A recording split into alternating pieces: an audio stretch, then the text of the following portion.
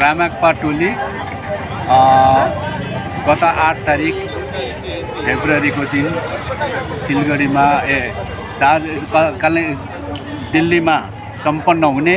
तिन दिनको कार्यक्रम धर्ना सेमिनार र नेसनल मिटिङको निम्ति जुन कार्यक्रम भइरहेको छ त्यो कार्यक्रमको निम्ति क्रामक्पा टोली गत आठ तारिकको दिन सिलगढीबाट हामी प्रस्थान भएका छौँ। र यो कार्यक्रम विशेष रूपमा वर्तमान दार्जिलिङ पहाड अनि समग्र भारत अनि लगायत सिक्किम नै आज जुन तरिकाले दुखी भइरहेका छन् सुप्रिम कोर्टको भर्डिकले गर्दा सुप्रिम कोर्टको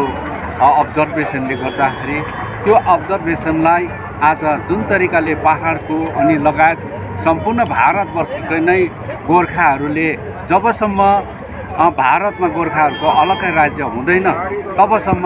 हामीलाई कुनै पनि एउटा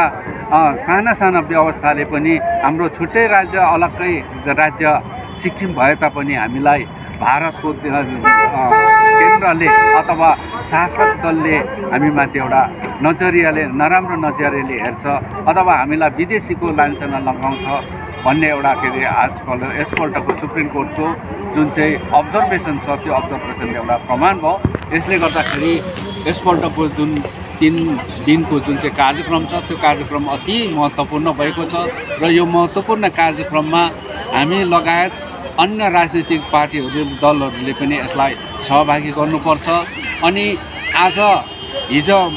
आज हिजो मात्रै सुप्रिम कोर्टले फेरि त्यसलाई सच्याएर संशोधन गरेर अब सिक्किमका नेपालीहरू है लाई जुन तरिकाको लान्छना लगाएर जुन तरिकाले विदेशीको ट्याग लगाएर जुन तरिकाको त्यहाँनिर उल्लेख गरिएको थियो त्यो उल्लेख गरिएको शब्दलाई त्यसलाई हटाउने भन्ने जुन तरिकाको सुप्रिम कोर्ट र केन्द्र सरकारको होम मिनिस्टरको जुन चाहिँ वचन छ त्यसलाई हामी सम्पूर्ण गोर्खाहरूको सम्पूर्ण नेपालीहरूको सम्पूर्ण जनताको आवाजको यो प्रतिफल हो भनेर हामीले त्यसलाई अनुभव गरेका छौँ र त्यसले आज सम्पूर्ण भारतको गोर्खाहरूले जबसम्म हाम्रो देशमा हामीलाई अलग्गै पहिचान भएको एउटा छुट्टै व्यवस्था हुँदैन आज हिजो मात्रै सुप्रिम कोर्टले फेरि त्यसलाई सच्याएर संशोधन गरेर अब सिक्किमका नेपालीहरू है लाई जुन तरिकाको लान्छना लगाएर जुन तरिकाले विदेशीको ट्याग लगाएर जुन तरिकाको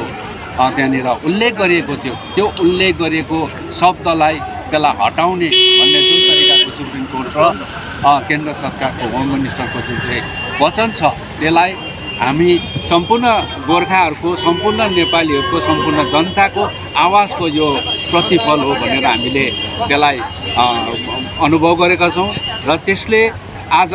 सम्पूर्ण भारतको गोर्खाहरूले जबसम्म हाम्रो देशमा हामीलाई अलग्गै पहिचान भएको एउटा छुट्टै व्यवस्था हुँदैन तबसम्म यो देशमा हामीलाई घरिघरि यस्तो लान्छनालाई यस्तो विदेशीको जुन चाहिँ लान्छना छ त्यो लान्छना सधैँभरि लगाउँछ र यो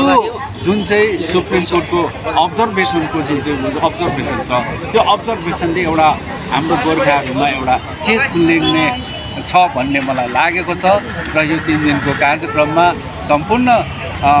पाहाडका राजनीतिक दलहरूलाई हामीले निम्ताएका छौँ र उहाँहरूले पनि अहिलेको अवस्थामा हामी जबसम्म एकजुट भएर यो मुद्दालाई अगाडि बढाउनु सक्दैनौँ तबसम्म हाम्रो एकाइलाई र हामीलाई जुन चाहिँ सानो सानो व्यवस्थाले फुटाइरहेको छ त्योदेखि चाहिँ हामी होसियार हुनुपर्छ। त्योदेखि हामी अलग्गै बसेर हामी हाम्रो देशको निम्ति देशमा हाम्रो गोर्खाहरूको निम्ति अलग्गै व्यवस्थाको निम्ति नै हामी लड्नुपर्छ भन्ने हामीले हामीलाई लागेको छ। र म सबै राजनीतिक दल सङ्घ संस्थाहरूलाई म त्यो आह्वान गर्छु। र अहिलेको अवस्थामा हामी एकजुट नभइकन हाम्रो मूल मुद्दाले छिनाफाना पाउँदैन। अथवा सरकारलाई हामी दबाउ दिन सक्दैन भन्ने हाम्रो सोच भएको छ र यसलाई नै सबैले के भन्छ आत्मसात गरेर हामी सबै एक सूत्रमा बाँधेर अगाडि बढिनुपर्छ भन्ने मलाई लागेको छ र यो आह्वान गर्दै र आज हामी गत आठ तारिकको दिन सिलगढीबाट हिँडेर आज हामी दिल्लीमा आइपुगेका छौँ र यसले गर्दाखेरि भोलिको दिनदेखि हुने कार्यक्रममा हामी लगातार बाह्र तारिकसम्म हामी त्यो कार्यक्रममा सहभागी हुनेछौँ। र आजको हामी यहाँनिर प्रस्थान भएर आज हामी भोलिको कार्यक्रममा सामेल हुनेछौँ। धन्यवाद।